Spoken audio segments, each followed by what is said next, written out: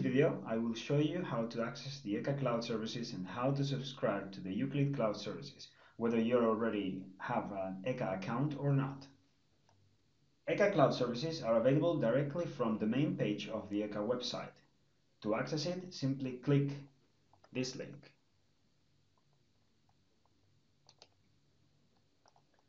The main page of the ECHA Cloud Services contain a brief description of the available services and set of other useful resources. To access the cloud services, click on the link ECHA Cloud Services. If you do not have an ECHA account yet, then you need to register and create it first. You will need to create a user and provide information about your company.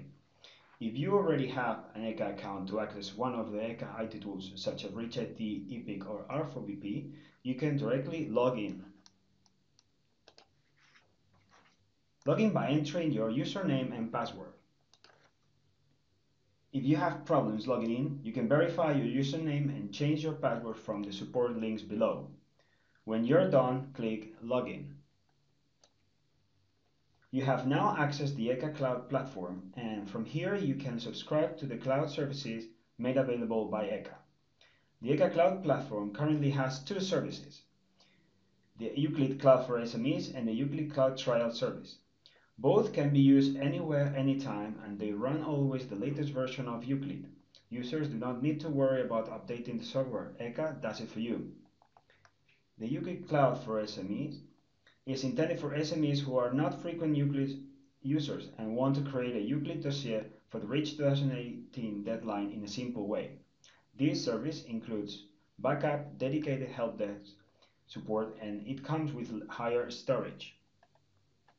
The IUCLID Cloud Trial aims at giving users the possibility to test, do training, and get familiar with IUCLID in the cloud. It has limited storage and no backup capabilities, but it has the same functionalities as the IUCLID Cloud for SMEs. In order to access a service, you need to subscribe to it first. So click on the subscribe button, then read the terms and conditions, and once you accept them, you will be able to subscribe.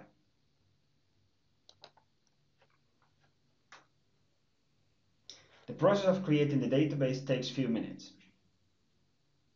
After that, the service is ready to be accessed and used.